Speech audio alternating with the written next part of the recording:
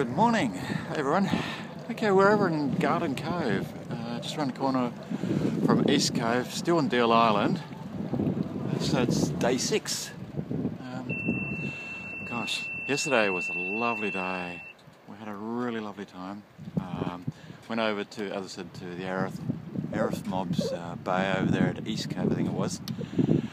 And then last night we sailed around here to Garden Cove. Yeah, this boat just turned up. I'll talk a bit about that in a moment and we had we went tried some fishing uh, last night and we actually did all right. Oops, excuse me. Just going to show a pan around a little bit more. There we go. Yeah, there we go. Out to sea. There we go. Back out to sea. Um, yeah.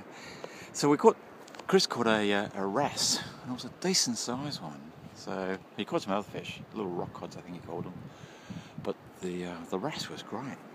So I had that last night for dinner. I um, stuffed it with some herbs and put it on a bit of parsley and some lemon. And we sprinkled a bit of uh, soy sauce on it, and um, and then slices of tomato and basically steamed that in the oven. Oops, hang on, sorry about that shake and uh, I cooked that for about 40, 45 minutes, something like that. Yeah, and we had that with some uh, sliced zucchini, which we also baked in the oven. That has some French herbs on it, and some steamed pink eyes, and um, what else we have? Oh, steamed carrots. God, it was a lovely meal. So, thanks, Mr. Fish. Sort of relaxed, played a game of cards, drank some wine, and called it a night. Um, the Sparkman Stephens 34, they also came into this bay uh, late last night, um, but they took off fairly early this morning. And then this this boat over here, the uh, little catamaran, uh, it turned up sometime, I don't know, this morning. Anyway, Lou was talking to the skipper, and Lucy calls it a junk rig uh, sail configuration, as you can see. Um, apparently he sailed it from the UK. He's just come across from Western Australia, so I don't know where he's come from, uh, South Africa, or down the Suez, or where he's done the uh, Pacific puddle jump, you know, through the Panama Canal. Um, but yeah, he's sailing it solo. Strange looking boat. Can't say it's my cup of tea.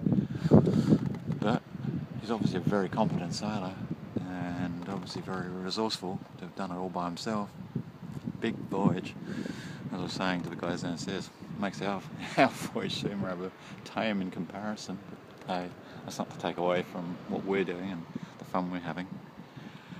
Anyway, that's enough for the moment, and um, we'll go ashore, I think, in a little while, and I'll take a little bit more footage there and and so on. And I don't know what we're doing this afternoon, whether we're staying here, whether we're going to move on. Um, Lou was talking about going over to the, to the group of islands known as the Sisters.